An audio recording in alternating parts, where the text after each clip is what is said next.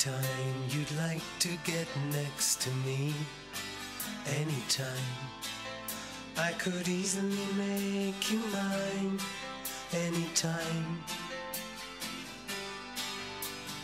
If you're ever in need of love and care, I'll be there. Yes, there's something we can share anytime.